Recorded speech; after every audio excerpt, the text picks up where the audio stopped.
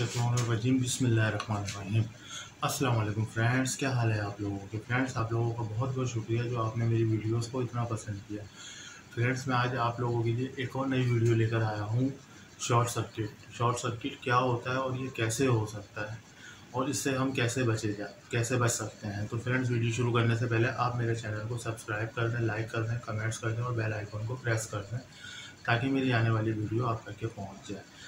अच्छा फ्रेंड्स ये तो सबको पता है कि शॉर्ट सर्किट किस तरीके से होता है कि जब आपकी लाइन और न्यूट्रल आपस में इस तरीके से टच हो जाए, इससे होता है शॉर्ट सर्किट अच्छा ज़रूरी नहीं है कि आपकी लाइन और न्यूट्रल के तार अगर आपस में मिले हैं तो तभी शॉर्ट सर्किट हो सकता है। शॉर्ट सर्किट के और बहुत सारी वजूहत हैं। क्या वजूहत है?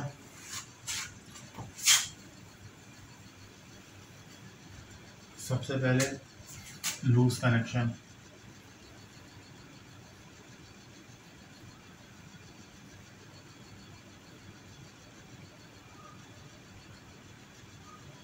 लूज कनेक्शन हो गया।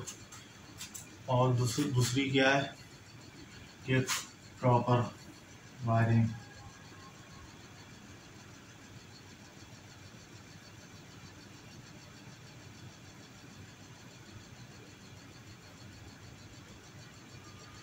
आपके घर की प्रॉपर वायरिंग नहीं सही नहीं हुई हो, या आपकी जो मेन डीबी है।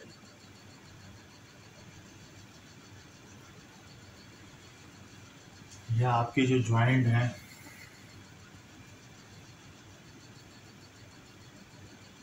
वो प्रॉपर नहीं लगे हुए हों।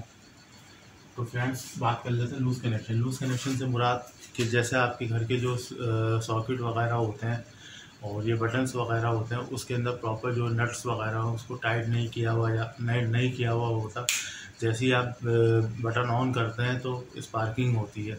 उस स्पार्किंग से भी आपके घर पे शॉर्ट सर्किट हो सकता है। शॉर्ट सर्किट कैसे हो सकता है? जब आप बटन ऑन करेंगे स्पार्क होगा अगर आप उसको एक दफ़ा देख लें, दो दफ़ा, तीन दफ़ा, एक वक्त ऐसा आएगा कि वो स्पार्क जो है आपका फायर की सूरत में बदल जाएगा।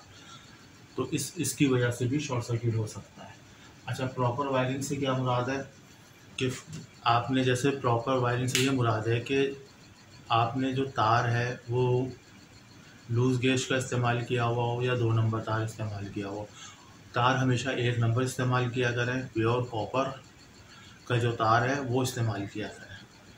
इसकी वजह से भी आप बच सकते हैं। अच्छा मेन डीवी मेन डीवी से क्या मुराद है कि जो आपके एमसीबी ब्रेकर होते हैं, जो ब्रेकर लगे हुए होते हैं, जो रूम्स की सप्लाई जा रही है ब्रेकरों में तो अक्सर क्या होता है कि लोग जो है चेक नहीं करते, इसका तरीका क्या होता है? ब्रेकर लगाने से पहले लोड को चेक किया जाता है कि आपके कमरे पे कितना लोड आ रहा है या कितने, कितना एम्पेयर आ रहे हैं। फ़र्ज़ करें, अगर आपके एक कमरे पे, एक कमरे के ऊपर अगर बारह एम्पेयर आ रहे हैं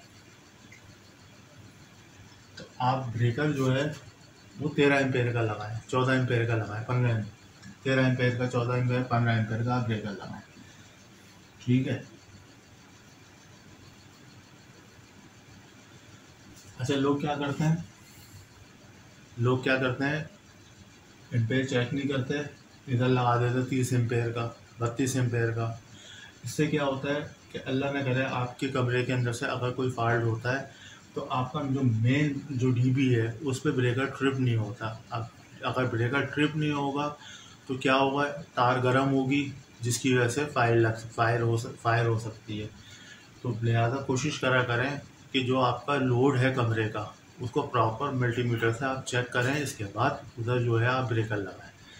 अच्छा तीस, तीसरी वजूहत क्या होती है? जॉइंट जब जब वायरिंग कर रहे होते हैं तो जॉइंट को जो होता है, वो प्रॉपर तरीके से प्लास से जो है टाइट नहीं की जाता, अच्छी तरीके से टेपिंग नहीं की जाती, जिसकी वजह से वो लूज़ हो जाते हैं तो जिसकी वजह से भी शॉर्ट सर्किट हो सकता है।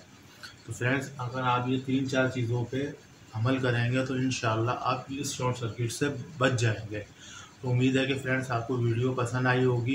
इन इजाज़त दें। नेक्स्ट वीडियो तक अपना बहुत सारा ख्याल रखिएगा। ओके, अल्लाह हाफिज़। बस जाने से पहले इतना ही बोलूँगा कि आप मेरे चैनल को सब्सक्राइब कर दें, लाइक कर दें, कमेंट्स कर दें और बेल आइकन को प्रेस कर दें, ताकि मेरी आने वाली वीडियो आप तक पहुँच जाए।